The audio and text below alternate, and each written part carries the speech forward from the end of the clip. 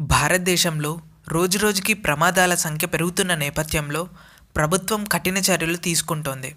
ఈ నేపథ్యంలో రద్దీగా ఉన్న ప్రదేశాల్లో డ్రంక్ అండ్ డ్రైవ్ నిర్వహిస్తూ మందుబాబుల భర్తం పడుతున్నారు. ఇలా డ్రంక్ అండ్ డ్రైవ్లో సెలబ్రిటీలు రాజకీయ నాయకులు ప్రముఖులు వ్యాపారవేత్తలు సైతం పట్టుబడడం గమనార్హం. తాజాగా ప్రముఖ నటి నృత్య కళాకారిణి Bigg Boss fame Gayathri Raghuram drunk and డ్రైవ్లో అడ్డంగా బుక్ అయింది. ఈ విషయాన్ని పోలీసులు స్పష్టం చేశారు.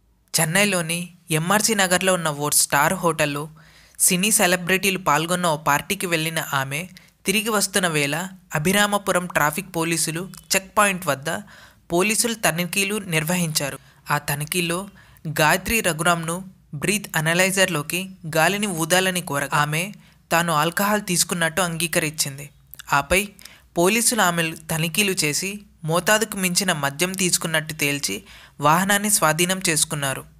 చుట్టూ హడావిడి పెరుగుతుండటంతో ఆమెను ఇంటి వరకు దింపాలని నిర్ణయించుకున్నామని ఆపై ఆమె వాహనం డాక్యుమెంట్లు స్వాధీనం చేసుకున్నామని పోలీసులు తెలిపారు.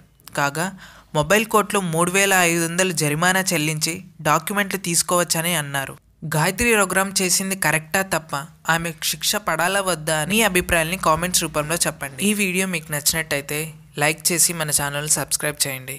Thanks for watching